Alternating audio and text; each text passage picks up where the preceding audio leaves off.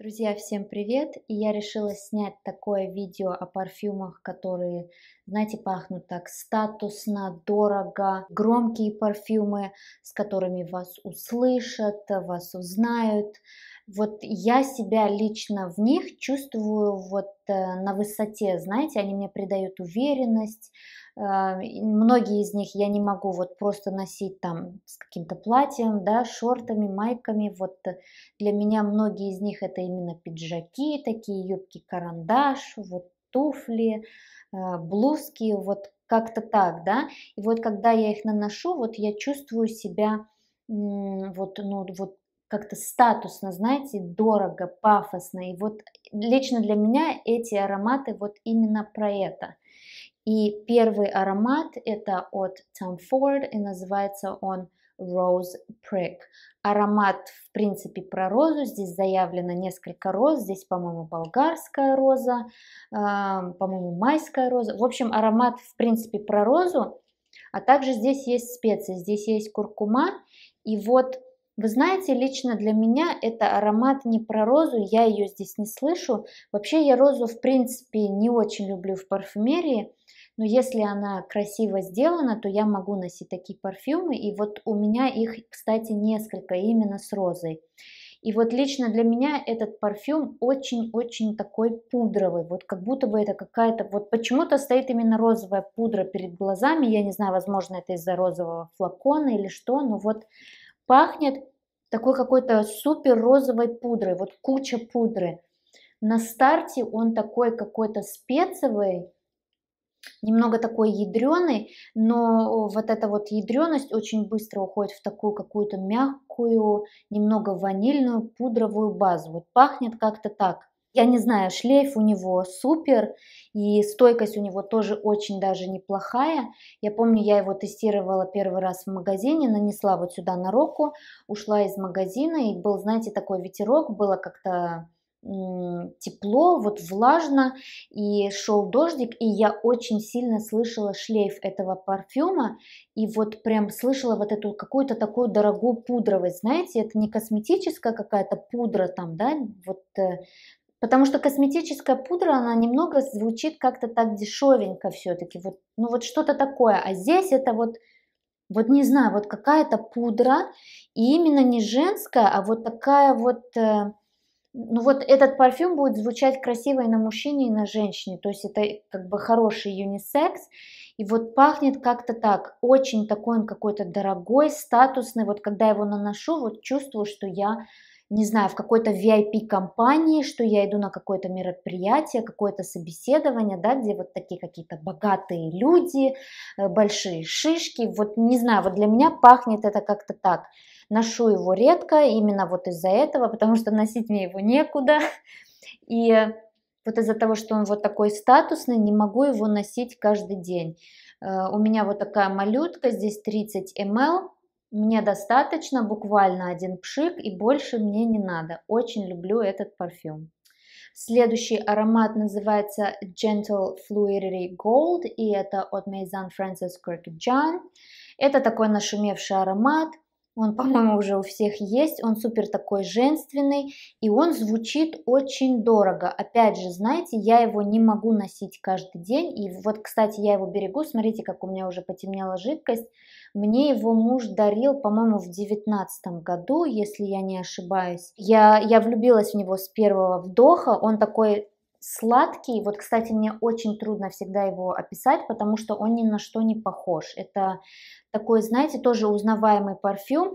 Он пахнет ванильно, сладко, здесь есть амбра. И пахнет какими-то такими, знаете, ягодами. Здесь есть какая-то ягодность на старте очень приятный, э, шлейф прекрасный, стойкость прекрасная. Я, кстати, сегодня в нем. Он мне очень-очень сильно нравится, очень такой женственный, вот прям женственность во флаконе, очень сладкий такой и очень вот дорогой, звучит очень дорого, прекрасный аромат, такой мягкий, нежный, очень сильно его люблю, у меня с ним очень много воспоминаний таких приятных. И вот говорю, я его берегу, храню, не хочу вот его наносить много. Да его, в принципе, вот говорю, и не надо. Вот я делаю там, ну, два пшика, мне достаточно. На одежде он сидит, конечно же, лучше, намного дольше. И вот когда я его надеваю, вот э, когда мы больше выходили в люди, вот до всего вот этого, то, что произошло, да, вот люди вот слышали вот этот аромат и все время оборачивались и смотрели и говорили мне, что это, то есть что на тебе такое, и мужчины, между прочим, и женщины, вот как-то так. Я всем девушкам его советую и считаю, что он должен быть у каждой девушки в ее коллекции. Следующий аромат – это новинка в моей коллекции. Не знаю, как я жила без него до этого, пока я его не послушала. И это Blue Turquoise от Armani Privé. Вот такой вот флакон, очень красиво выглядит, очень пафосно, очень дорого. И вот на самом деле точно такой же аромат очень стойкий. Блин, ребята, он вот держится, вы знаете, больше суток. Вот, я не знаю, идешь в душ, он держится после душа. Ложишься спать, его слышно на следующее утро. Ну, это просто какая-то сказка во флаконе. Это такая соленая ваниль, уже говорила не раз. Я, наверное, прозудела вам все уши вот с этим ароматом. У меня сейчас с ним запой. В общем, аромат про соленую ваниль пахнет чем-то таким морским, морским ветром, бризом, морским песком, морскими камнями, солнцем, летом. Так пахнет спа, так пахнут э, кремы от спа. И вот пахнет именно очень дорого, понимаете? Здесь вот есть в нем что-то такое, что цепляет, и вот пахнет именно дорого. Очень дорогое такое у него раскрытие, очень тоже такой статусный, не знаю, замечательный парфюм, звучит идеально и на мужчине, и на женщине, и я его очень сильно люблю. Если вы можете где-то его найти, протестировать, вот, пожалуйста, сделайте это, послушайте, я уверяю вас, что он вам очень понравится.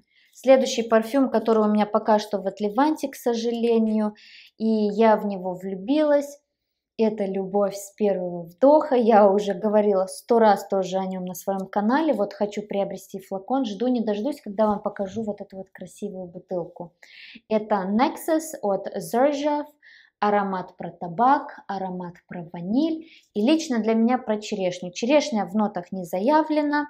Здесь в нотах корица, лаванда, по-моему, даже какие-то цитрусовые ноты, если я не ошибаюсь ваниль и вот табак. Табак очень мягкий, не вонючий, не сигаретный, это не табак, а ваниль от Tom Ford, это вот что-то особенное, очень мягкий такой нежный ванильный табак, и вот в шлейфе постоянно слышу вот эту черешню. Не знаю, вот э, я заметила очень часто корица и какие-то специи с табаком выдают именно ноту черешни.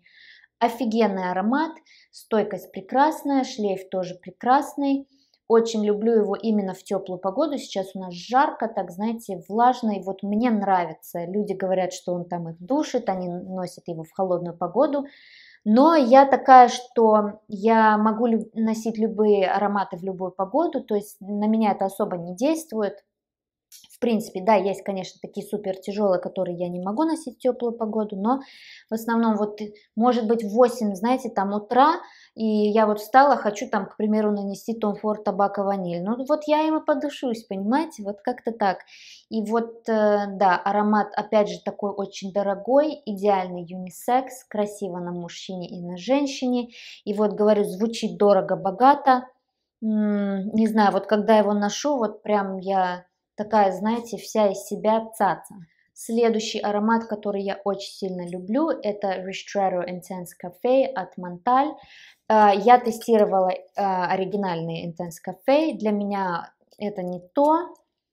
Аромат, конечно же, про розу, такую монталевскую, маслянистую, такую густую, прям, знаете, э, и про кофе, да, вот ваниль, кофе, сахар. Вот я тестировала Intense Cafe, и, кстати, тот аромат такой супер шлейфовый, буквально один-два пшика, и, и все, просто умрет вокруг все вас, да, супер стойкий, убойный, но для меня там вот именно такая сладкая водица, это вот, знаете, такая какая-то сиропная э, роза, вот просто роза и сироп, вода такая, да, вот с сахаром, а здесь вот именно кофе, то есть там я не слышала кофе. Здесь вот именно кофе, даже такой как будто бы капучино с розой, вот с молоком, с пенкой, с сахаром, с ванилью. Очень убойный аромат, вот пахнет буквально отсюда. И вы знаете, что я обратила внимание, вот что происходит с этим ароматом? Вот если тепло, это такой аромат, знаете, хамелеон. Вот это лично то, что заметила я. Вот если тепло, слышно именно кофе. Вот кофе, кофе и кофе. Вот если прохладно, хоп, вылазит роза. И вот прям такая, знаете, нежная, такая сладкая роза. И я даже делала эксперимент. У меня было жарко на улице, а дома работал кондиционер. То есть дома прохладно, да?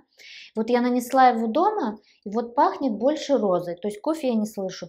Вышла на балкон, посидела буквально там 3-5 минут, и вот кофе, вот как будто бы на меня вылили кофе такой с пенкой, сладкий, молочный, ванильный, вот пахнет именно так.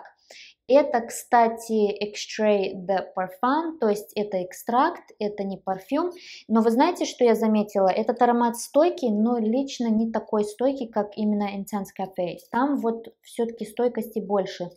И я слышала такую версию, что вот экстракты, они в принципе стойкие, но они не такие шлейфовые. Вот почему-то так. Кто-то мне сказал, что обычно в обычном парфюме там а, как бы спирт, да, вот эта вот алкогольность, а здесь это в основном масла, и вот видимо, масла, они не так шлифят. Они могут сидеть долго, но они, видимо, не так шлифят, чем вот парфюм, где есть спирт. Я не знаю, если это правда, напишите мне, пожалуйста, в комментариях, если вы что-то слышали про это. Ну вот кто-то мне вот так вот сказал пару раз в комментариях, и этот парфюм очень такой маслянистый, вот прям течет масло. Я его не наношу на Одежду я не пыталась, не тестировала, потому что я боюсь испортить ее.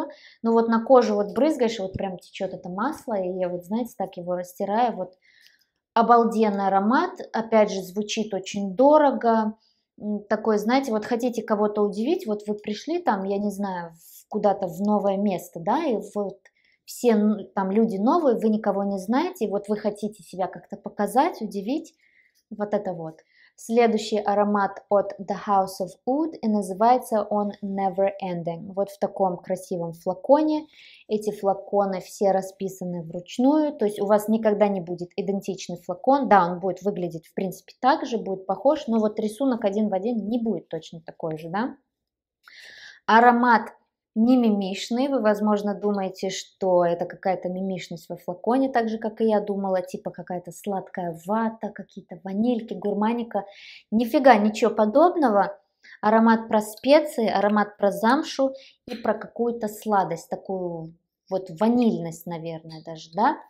И вот э, также здесь есть какая-то такая копченость немного, какие-то такие копченые нотки, древесность, знаете, вот что-то такое, пахнет как-то так, аромат звучит дорого, звучит красиво на мужчине и на женщине, и вот у него есть какой-то статус. Вот вы его наносите, и вот есть в нем какая-то такая, ну не знаю, вот статусность, вот статус. Вот э, вы хотите выделиться, вы идете на какое-то мероприятие, вы идете на собеседование. Вот у меня стоит перед глазами, знаете, такой большой стол, идет собеседование. Все пришли в, пиджак, в пиджаках, да, и вот э, какие-то серьезные разговоры, такие вот серьезные люди, и вот на вас вот этот вот парфюм. Вот слышу вот так.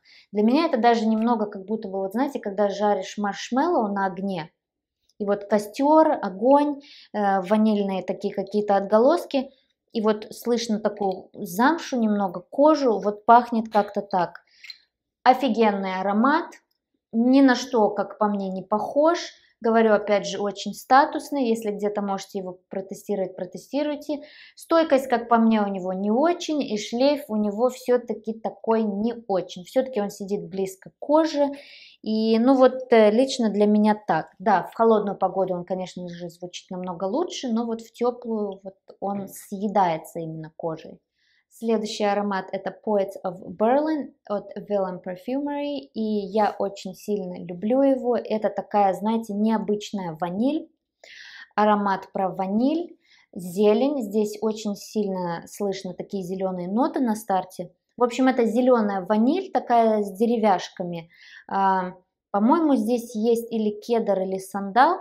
В общем, пахнет деревом, и знаете, вот даже пахнет вот есть в нем какая-то немного алкогольность, вот как будто бы это бочка с каким-то таким, не знаю, ромом, виски, вот как-то так, я не знаю, я почему-то слышу здесь именно такую пропитанную бочку алкоголем и вот эти зеленые нотки на старте. То опять не похож, но, к сожалению, сидит близко к коже, не шлифит, зараза, надо им поливаться, и как бы, ну, блин, он не дешевый, да, это не, не бюджетный парфюм, и вот жалко, что надо наносить его много, но если вы сделаете где-то там, не знаю, ну 5 пшиков, люди услышат, все будут спрашивать, что это, комплименты сыпятся, потому что аромат, говорю, очень такой необычный, он особенный. Он также нравится моему мужу, и он говорит, что аромат действительно такой, ну вот достойный, знаете, вот он говорит, что он необычный.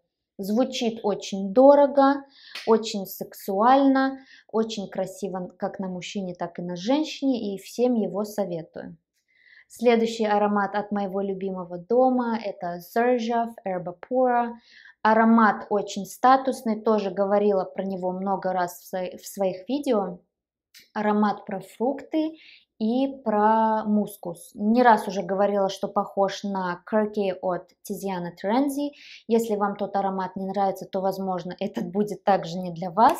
Но вы знаете, мне вот тот аромат не нравится, но вот здесь для меня мускус более такой приятный и более тихий. Если тот аромат такой супер громкий, то здесь вот эту вот громкость, знаете, так немного уменьшили. Но все равно мускус очень-очень похож. Также для меня здесь пахнет немного такой какой-то шипучестью, вот как будто бы это какой-то такой фруктовый дринк шипучий, фруктовая конфетка шипучая, вот пахнет как-то так. Шлейф просто на километры, нужен буквально один микропшик, не больше.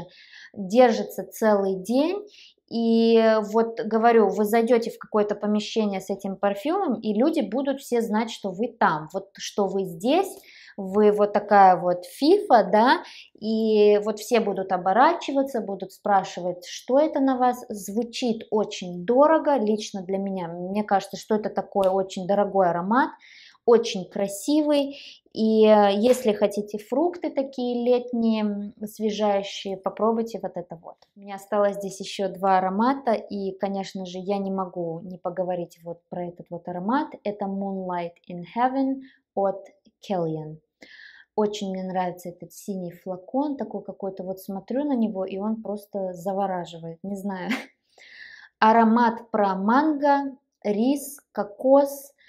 Знаете, это вот в принципе по нотам гурманика, но вот когда его вдыхаешь, ну, не знаю, мне не хочется его съесть, для меня это не гурманский аромат. Здесь также есть ветивер.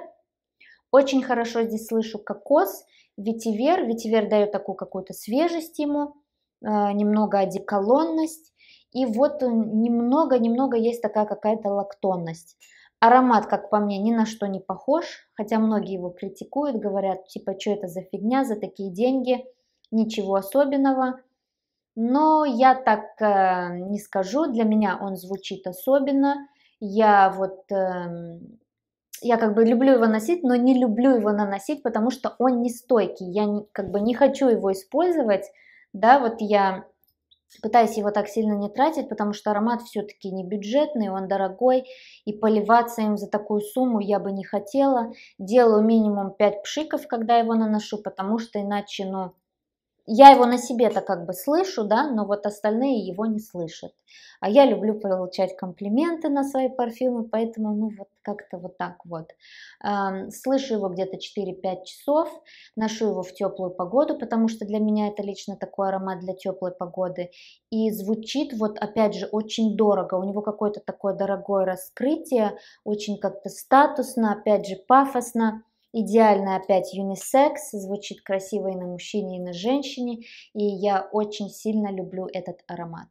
И последний аромат у меня опять же от этого дома, от Killian, и это Black Phantom. Я поначалу просто возненавидела этот парфюм. Это такая гурманика, здесь э, горький шоколад, здесь карамель, сандал, гелиотроп, э, миндаль. В общем, все такие, знаете, вкусные ноты. И я вот когда читала на фрагрантике ноты, отзывы, вот думала, блин, это, наверное, будет идеально такая гурманика, и это будет любовь вот просто с первого вдоха, да. Я его тестировала в магазине, он меня очень сильно оттолкнул. Мне он показался очень таким мужским. Я здесь услышала пачули, для меня это был такой вот, вот как флакон, да, черный, такой темный. Вот аромат для меня был точно такой же. Темный, тягучий, очень такой мужской, землянистый какой-то. В общем, он мне совсем не понравился и не могла вот э, услышать какие-то отдельные ноты, да, вот шоколад там или вот что-то такое. Ничего не слышала, просто вот какая-то черная такая темная фигня и все, и больше ничего.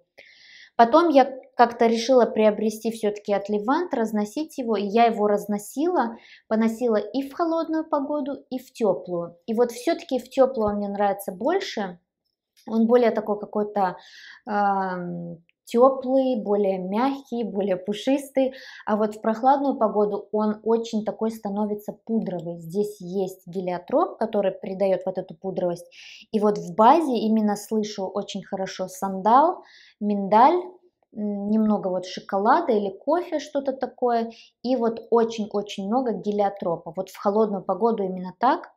Ну вот даже, знаете, в теплую погоду он все равно такой пудровый. Вот лично я слышу эту пудровость. И вот для меня это аромат такой про, знаете, вот прям, наверное, даже шоколадный ликер. Здесь, кстати, также заявлен ром в нотах. Вот на старте слышу чуть-чуть немного кофе такого горького, потом это горький шоколад с карамелью, ром, вот прям пахнет именно таким эм, шоколадным ликером, знаете.